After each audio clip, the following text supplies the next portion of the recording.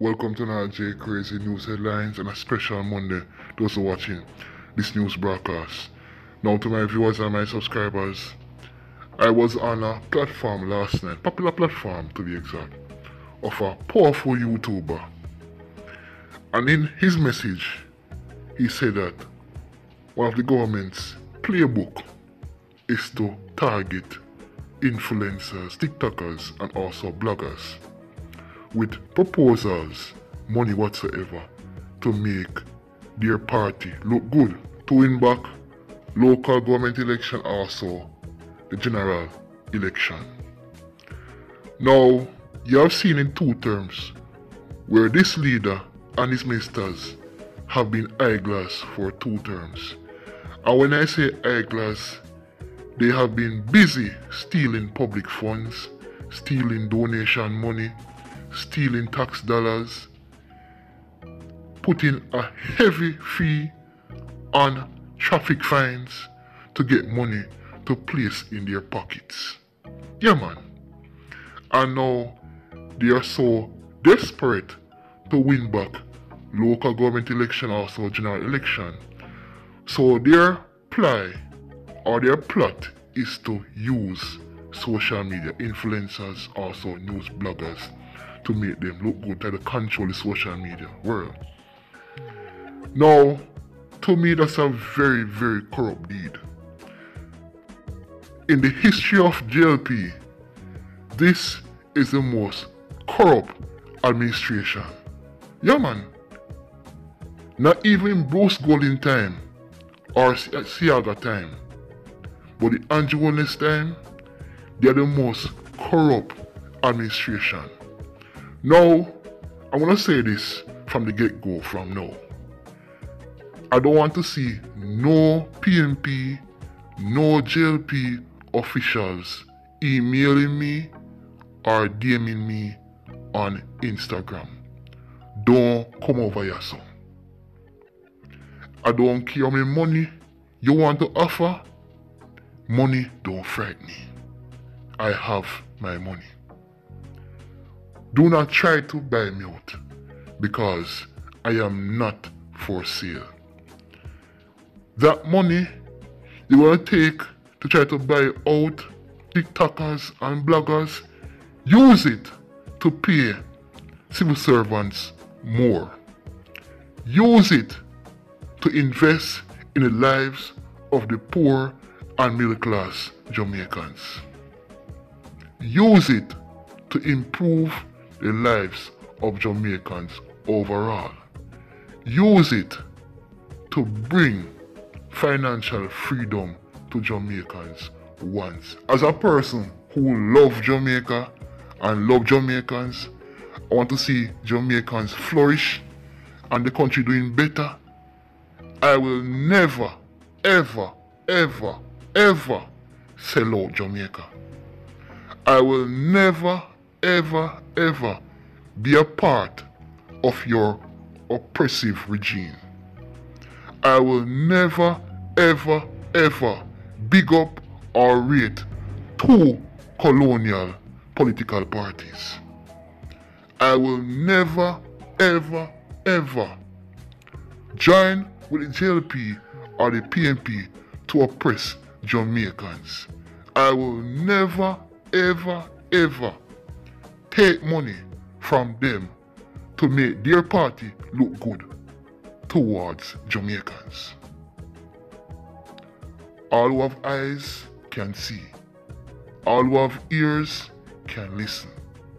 Jamaicans have risen up, they have wised up, and your backdoor corrupt deals and deeds won't sway them, won't move them. So Andrew Holness, listen me and listen me good. This money will take to pay influencers and want to approach bloggers so that you can look good once again in the public's eyes or domain.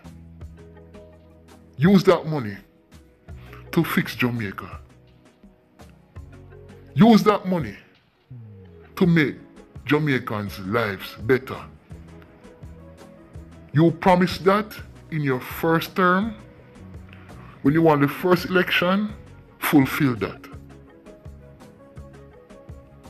But we know, you know, you can't help yourself because you're filled with corruption. You're a very evil man. And I cannot wait for the day when God Himself pour His wrath on you and give you a fine lashing and a fine beating. Now we head towards St. James to be exact. Where yesterday, exactly 11 am, a police officer took his own three points. Now, Constable Ernesto Tracy, who is attached to Hanover Traffic Division, took his own three points at his home at their apartment in Westgate Hills in St. James. Now, based on information, about 11 a.m., checks were made and he was seen lying in a pool of blood with a single gunshot wound to his head. Was taken to the hospital where he was pronounced dead. Now, also, his gun was found beside him. Now, so far, the police are saying that it is suicide. Now, we don't know why Constable Ernesto Trace took his own three points. But you know, at times, you know, police officer suffer and go through the deep depression. Before I continue, I have to ask the JDF one thing. Why are there so many new recruits dying while training? The other day, one drone during training and Javar Spence has died while undergoing training because he was ill. Now that is recruit Javar Spence, aka Jay. Now Jay died after feeling ill while undergoing training at the Army's Newcastle Training Center in St. Andrew. Now, however, he was taken to UWI Hospital where he was pronounced dead. Now the JDF is offering grief and comfort to the family. Now JDF, this is very strange and people are wondering why is it that recruits are just dying? Is the training too hard for the recruits? Or something else are going on at JDF camp there? Because certainly this is not the first recruit to die. Months ago you saw recruits dying while on the training.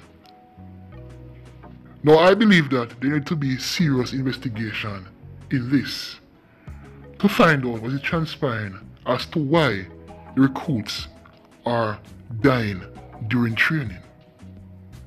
Is it that the training is too hard and vigorous? Or, I said before, something are going up, up our camp where it needs to look into and investigated. Now we head towards St. Andrew where 31 year old Ryan West was killed during an incident with a 18 year old female. Now that is 31 year old Ryan West of a Mount Algie address in the parish of St. Andrew. Now, based on information, Mr. West and the female had an altercation where a knife was brought into play. Now, Mr. West was stabbed with that knife. Now, Ryan West and the accused aunt was also in a relationship. Now, around 8.15 p.m. Saturday night, Mr. West and the 18-year-old had an argument where Mr. West used his hand to place around the neck of the 18 year old. Now, the female, who is soon to be a mother, ran at her home and came back with a knife, where Mr. West was fatally stabbed in that incident. The 18 year old female who is pregnant has been arrested and now in police custody and facing charges of murder. The police are investigating.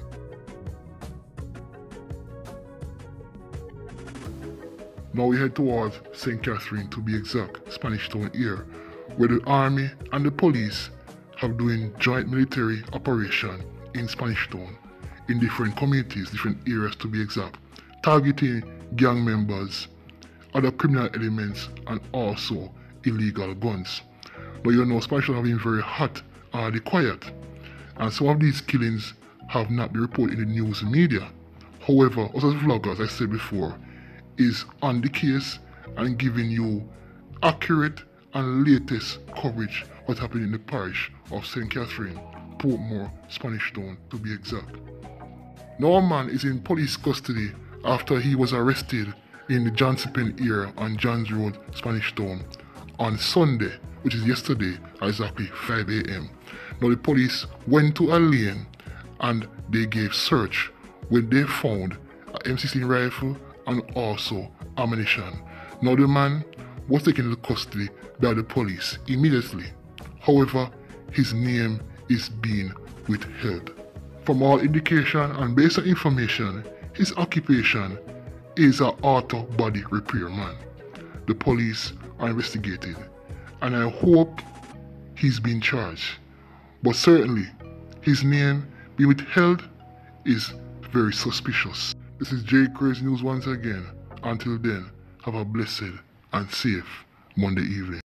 Yeah man, I'm here see a black legend. I'm here represent for J Crazy YouTube reviewing channel. So what? Like, comment, subscribe and share out the thing.